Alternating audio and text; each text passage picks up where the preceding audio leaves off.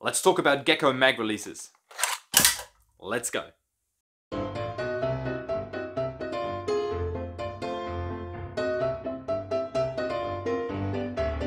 Hello friends, hello YouTube, how are you guys doing? Rainbow here with another Nerf mod video, although again, technically not Nerf, because it's another Gecko upgrade update video. Today we're going to be talking about the Gecko mag releases and this video is long overdue because both of these mag releases have been available through my shop for a long time and they've also in its bare version have been on Thingiverse for a while. I'm going to link all of this in the description. Alright, so first things first, initially the Gecko doesn't even have a mag release. So as you can see on the picture right here, the original design just has the mag detent in the back and you just push in the magazine and an internal hook just holds it and you just pull it out and you just bend that hook backwards and that's how the initial design works. Which works totally fine, totally great. However, there have been a bunch of mag releases flying about just because a lot of people, myself included, like to have a mag release on the blaster. It if it's just for function and just for the sort of the coolness factor of being able to do this, I don't know. However, it's quite nice that they are there. So if you're interested in Gecko mag releases, grab yourself a cup of tea because in this video we're going to be looking at the three mag releases that are out there, or at least the three that I know of, and I've tested all three of them and I'm going to tell you what the differences are and why you might want either one of them or none of them at all. So we're going to be talking about the WariWasp mag release, which is also known as the Ambidextrous mag release and has been in my shop for some time, which is this one. We're going to be talking about the Adiya mag release, which is also known as the Lever mag release, which is this one right here, and has been on a bunch of geckos that I've built and is also going to be available in my shop from now on officially. It has been available for a long time, I just haven't listed it yet.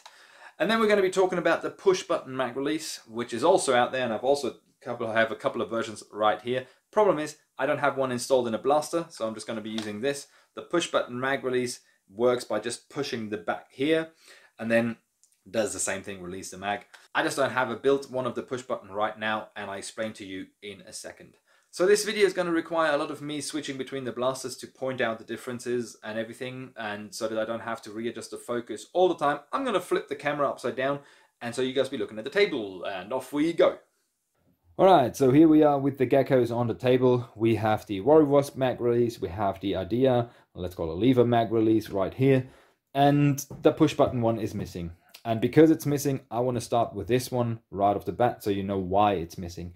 The original design, you can see a picture right here, uh, works internally with a rubber band.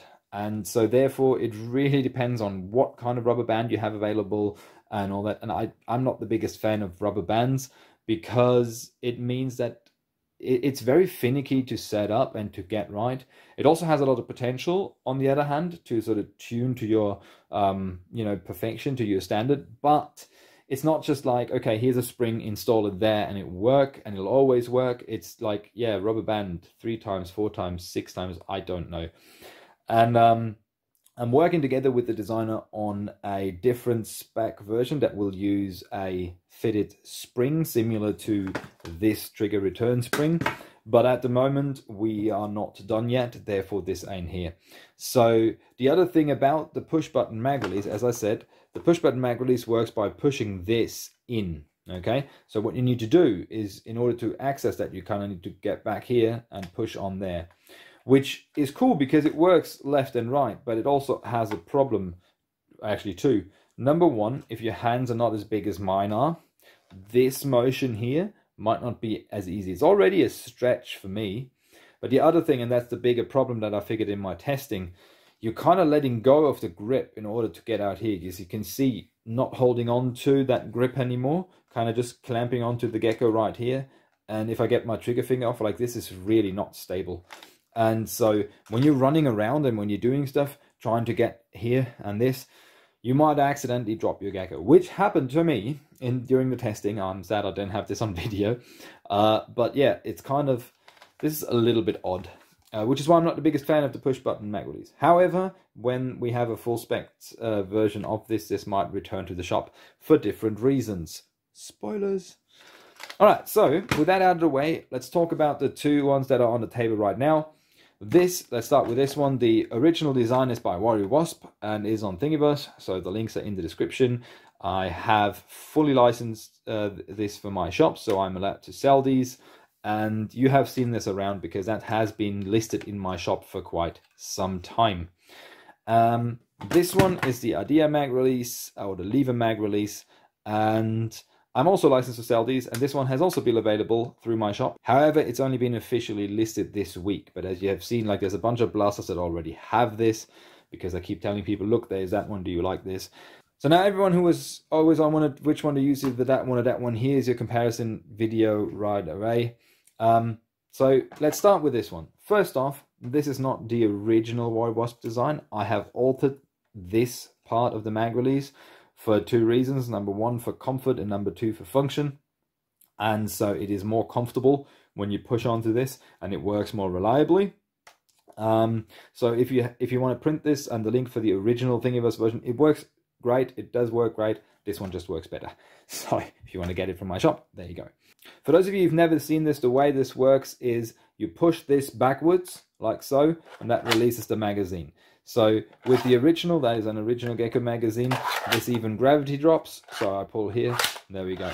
I can do this on both sides, which is why it's called an ambidextrous mag release. Uh -huh. And that's the function of it. Internally, all it does is like this piece pulls back the hook that holds the magazine, and that's it. There's one spring in there, and that's all the setup. So the function, however, though, is you kind of have to get your knuckle up here and then pull backwards. So it's it's not like an upwards motion. It's like an up and then back. And this is something you got to learn. Um, initially, I always just wanted to go to go like up here and push this up, but nothing is going to come of that. You really have to go up and then back. And I find it works best if you use that knuckle of your thumb to get up here and hook that in here and then push this back. And there we go to the first problem of this mag release. Um, it is great and everything. However, if your hand is not as big and your fingers are not as long, you're not going to reach this with that knuckle. You're just going to reach it with that tip, if so. And then you might not have enough force to push this open. So my girlfriend has smaller hands than I have. And she, like when she holds a gecko like this, she just about gets up here with the tip of her thumb. And it's really uncomfortable and she really can't sort of push this backwards. For me, this is not really too much of a trouble. The other thing is, like, if you're someone who wants to have the gecko or your blaster pointing at whoever you are shooting while reloading, this requires a really long stretch. Um, I don't. I always sort of move this out of the way, reload here, make sure to reload and go back into sort of, you know, shooting position. But I wanted to point this out. If you're someone who wants to have like your aim, don't lose your aim you really got to stretch this and learn how this how to work this. I know how to work this because I have played with this mag release for a couple of months, so I'm just saying that this requires some getting used to. The very, very good thing about this is it instantly, as this is designed, it is left or right-handed. You don't have to change anything. It is right there. And it has a very slim profile. So as you can see here, like the Gecko doesn't become any wider than these screws actually already are and therefore it is a very, very low profile. And the way it's designed is also really great for when you're holstering it because you're not going to get, um, you know, hooked on any of your gear really because that is really, you know, it's going to be easy to just hook it somewhere without, you know, getting tangled in your gear whatsoever. So that is this mag release. Pros and cons of that right there. Um, let's go to the Adiya mag release. And spoilers, this is my favorite. So with the Adiya Mag release, same thing. The original files are available on Thingiverse. I'm going to put a link in the description as well as to the original WariWasp files. But I've altered these, so I've altered these. The files that I have available in my shop, the printed versions that you get if you buy this mag release from me, are different from the Thingiverse files though. Adiya and I spent some time tweaking this after I did a lot of testing on this one because I really liked how it works. I did a lot of initial testing and so we changed a bunch of things starting from the design to the functionality of it a little bit. So these will be different than the ones that are on Thingiverse. And so, yeah, if you have your own printer, you want to print it, check out the link in the description. If you want to have those, you can buy these separately or obviously within your Gecko Blaster kit. So this mag release essentially does the same thing. This pulls back the hook that then releases the magazine. However, it does it in a different way. It is a lever and now the motion is up and not back. So when you look here, you kind of push this up in order to release that magazine right there. And same thing, so it's a gravity drop on that magazine. But the function of this is completely different because you're not pushing this back, you're pushing this up. And that comes with an advantage. It is a lot more comfortable like this. Even I'm used to using this, this is a lot more comfortable. And um, now when you have smaller hands, smaller fingers, you can always use this. So again, the example, my girlfriend's with her smaller hands. She has no trouble using that mag release. Nice and easy, no trouble whatsoever. It's also, if you're pointing this at your target and you just want to engage in that, even if you just get your tip of your finger on there, it still engages the mag release and it still works, which is what that one doesn't. So this I personally find a lot nicer. Um, in this configuration, this setup, as you can see, it's only right-handed. Of course, you can flip it. I can print the parts differently, so you have the lever on the other side, so for a left, purely left-handed setup. Or you can have two levers on either side for an ambidextrous setup, which is also a great thing to do. It uses the same, uses a little bit more hardware because these two parts have to go together, but it uses the same hardware as the Gecko.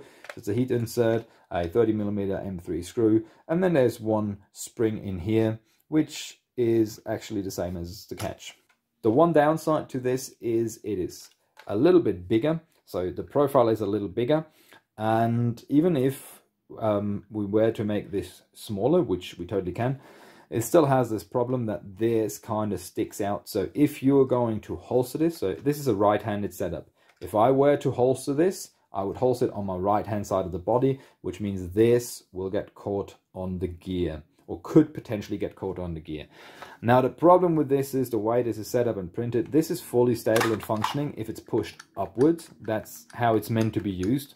But if you push this down that way, you will break the arm here.